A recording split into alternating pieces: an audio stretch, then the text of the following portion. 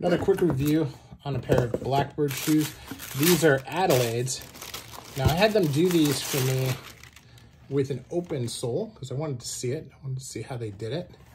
And it's a two, it is a 365 welt. Um, and they do it really nice. Uh, normally these are actually closed channel or blind stitched.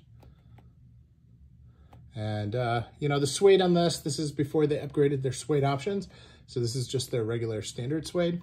Uh, really, I'm letting these go only because I don't like the insole. Uh, and I'm to upgrade the suede later on. But this is a, uh, it's a nice shoe, well constructed for under the $200 price point um, in the hand welted variety. So very uh, nicely done.